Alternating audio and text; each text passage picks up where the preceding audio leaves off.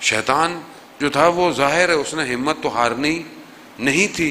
ज़ाहिर है उसे वक्त भी मिला हुआ है, उसके पास जो है वो इतनी फुर्सत भी है और उसका स्ट्रक्चर भी ऐसा डिज़ाइंड है कि वो जो है वो इंसान को छोड़ता नहीं है। हम लोग गाफिल हैं।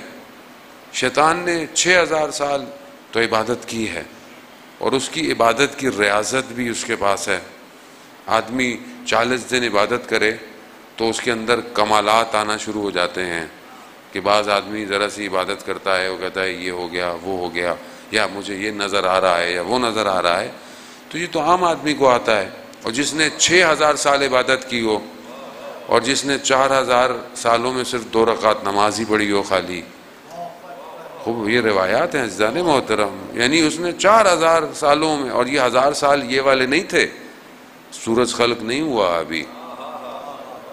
तो कौन से साल हैं? अब नहीं बता। तो इतनी इबादत, इतनी रियाजत तो क्या है उसके पास? तो वो सब उसके पास है कि वो हमारे आबा अजदाद से वाकिफ़ है। वो हमारे अंदर छुपी हुई सारे नकाइस से वाकिफ़ है। हर चीज़ जानता है। जानता है इसको गिराना कहाँ है, कैसे गिराना है। अगर हम गाफिल हो जाएँ इससे और हम बोलेंगे, नहीं, हमारा तो कोई दुश्मन ही नहीं है, मौलाना साहब, हमारा कौन दुश्मन हो सकता है? नहीं, सख्त तरीन दुश्मन है वो। और इसीलिए उसकी क्योंकि वो इतना टेक्निकल है कि वो अपने तक बात को आने ही नहीं देता।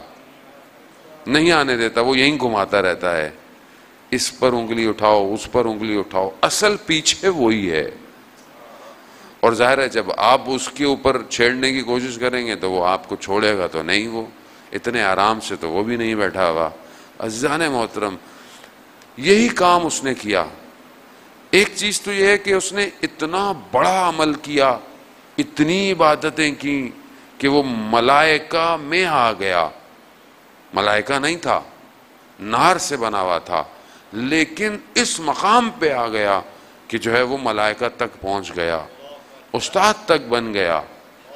इतना अमल उसने किया, लेकिन उसके एक अमल ना करने ने उसके सारे अमाल को ख़त्म कर दिया। सारे अमल को ख़त्म कर दिया। यानी कौन सा अमल? उन्हें खुदा ने कहा, ये करो। वो नहीं किया उसने। कहा, परवरदिगार, तू मुझे सज्जे को कह रहा है। मैं तो बेहतर हूँ। यानी उसने अपनी बेहतरी का कहा कि मुझे तो नार से किया है, इसे तूने खाक से किया है, इसे तूने मट्टी से किया है। यानी अपने आप को अफजल समझने लगा। जबकि यही उसका किब्र था, यही उसका गुरूर था। जबकि खुदा के नज़दीक मैार खुदा का अम्र था। खुदा ने कहा कि इसको सजदा करो। नहीं किया।